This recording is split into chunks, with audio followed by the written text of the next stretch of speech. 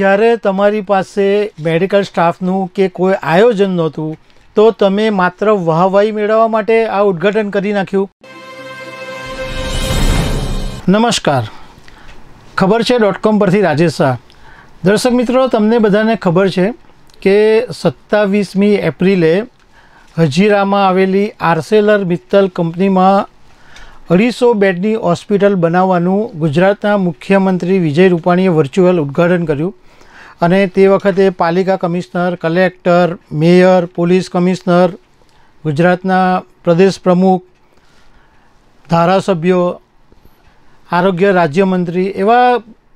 બધા નેતાઓ પોતપોતાનું કામ છોડીને ત્યાં આગળ ગયા હતા. અને અઢીસો બેડની હોસ્પિટલનું ઉદ્ઘાટન થયું એવી જાહેરાત પણ કરી દેવામાં આવી હતી. મીડિયાએ પણ એ વાતની સરાહના કરી હતી કે ચાલો સારી વાત છે કે એક કંપનીએ આગળ આવીને અઢીસો બેડની હોસ્પિટલ બનાવી. આર્સેલર મિત્તલની કંપનીની અંદર ઓક્સિજન બને છે, પરંતુ એ ઓક્સિજન મૂવેબલ નથી. એટલે ત્યાં ત્યાં આગળ જો હોસ્પિટલ બને, તો ત્યાં દર્દીઓને ઓક્સિજન આપી શકાય. એવી વ્યવસ્થા થઈ શકે એટલે ત્યાં આગળ એવી ગોઠવણ કરવામાં આવી હતી. પરંતુ અમે તમને જે વાત કરીશું એ એકદમ ચોંકાવનારી છે કે અમને એક દર્દીનો ફોન આવ્યો કે મારે ત્યાં આર્સેલર મિત્રમાં દાખલ થવું હોય તો શું કરવાનું? તો એ બાબતે અમે તપાસ કરી તો અમને એવી વિગત જાણવા મળી કે તમે પણ આશ્ચર્યમાં મુકાઈ જશો. જે કોવિડ નાઇન્ટીન હોસ્પિટલનું ગુજરાતના મુખ્યમંત્રીએ વર્ચ્યુઅલ ઉદ્ઘાટન કરીને એમ કીધું કે અઢીસો બેડ ખુલ્લી ખુલ્લા મૂકી દેવામાં આવ્યા છે અને અઢીસો બેડની વ્યવસ્થા થશે અને થોડા દિવસોમાં બેડ વધારીને હજાર કરી દેવામાં આવશે. પરંતુ દર્શક મિત્રો આશ્ચર્યની વાત એ છે કે હજુ તો ત્યાં માત્ર સોળ બેડની વ્યવસ્થા કરવામાં આવી છે માત્ર સિક્સટીન અને તે પણ હજુ હોસ્પિટલ ચાલુ નથી થઈ તો એનું કારણ એવું છે કે ત્યાં સોળ બેડ માટે પણ જે સ્ટાફ જરૂર હોય ડૉક્ટર નર્સ વોર્ડ બોય સફાઈકર્મી એ સ્ટાફ નથી મળતો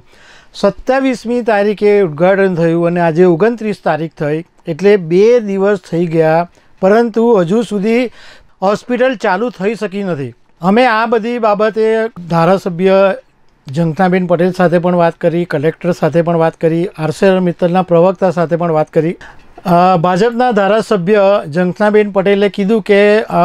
હજીરામાં આ મારા વિસ્તારમાં હોસ્પિટલ આવેલી છે એટલે જે ઇન્ફ્રાસ્ટ્રક્ચરની ને જે વ્યવસ્થા કરવાની હતી એ બાબતે કંપની સાથે મળીને મેં મારી વ્યવસ્થા ગોઠવી છે પરંતુ મેડિકલ સ્ટાફ અને નર્સની અછતને કારણે આ હોસ્પિટલ હજુ ચાલી ચાલુ નથી થઈ શકી મેં કલેક્ટર અને કમિશનરને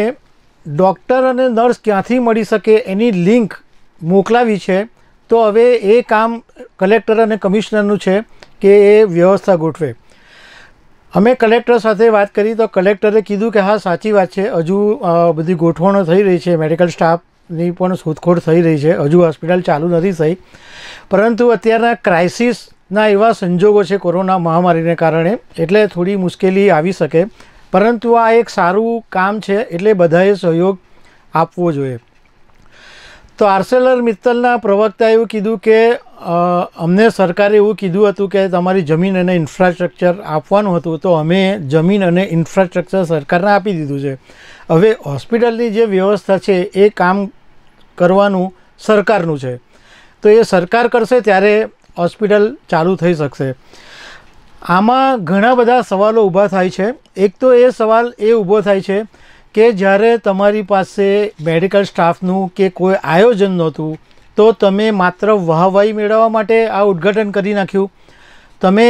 તમે પહેલાં બધી વ્યવસ્થા કેમ ના ગોઠવી બીજો સવાલ એ ઊભો થાય છે કે ચૂંટણીના સમયે જે લોકો માઇક્રો મેનેજમેન્ટ કરે છે એક એક મત મેળવવા માટેનું જે આયોજન ગોઠવે છે એવા લોકો જ્યારે પ્રજાને જરૂર છે ત્યારે માઇક્રો મેનેજમેન્ટ નથી કરી શકતા જ્યારે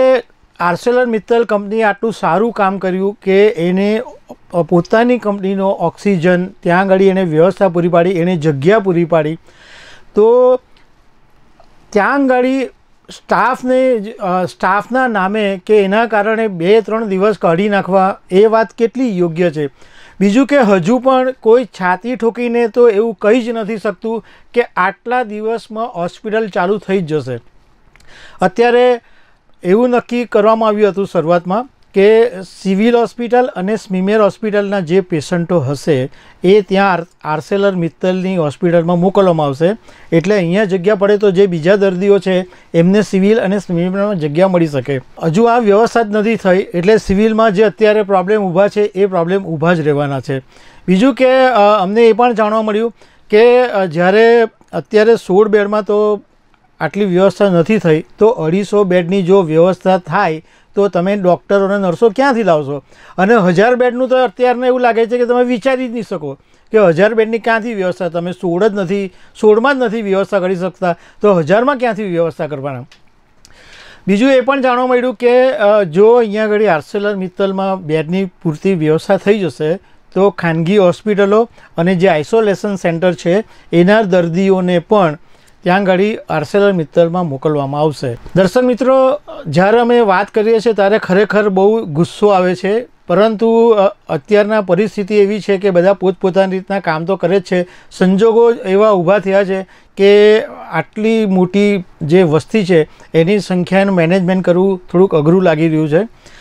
તો આવી અનેક વાતો સાથે અમે તમને મળતા રહીશું થેન્ક યુ વેરી મચ